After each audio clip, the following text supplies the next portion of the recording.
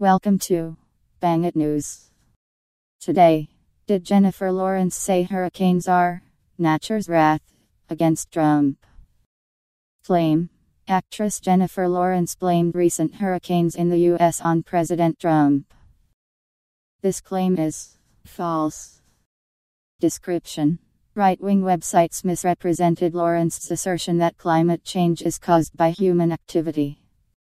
Explanation In September 2017, right wing websites accused actress Jennifer Lawrence of blaming President Trump for the deadly hurricanes that recently ravaged several Caribbean nations along with Texas and Florida Newsbusters.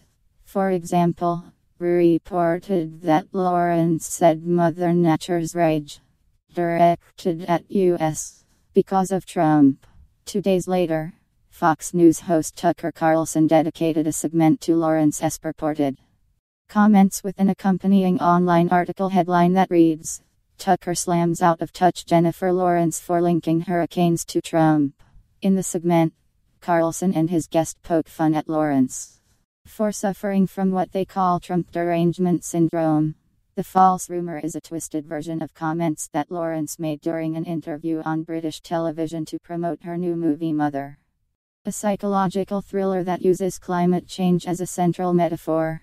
During the interview, Lawrence said science has demonstrated that climate change is the result of human activity. When prompted by the interviewer, she added that she was troubled by the 2016 presidential election results. She never mentioned President Trump by name in that interview, but within hours, various publications were sensationalizing it with commentary claiming the actress blamed him for Hurricanes Harvey and Irma, which struck southeast Texas and Florida in late August and early September. It didn't take long for the rumor to spread to more. Thanks for watching. Bang It News.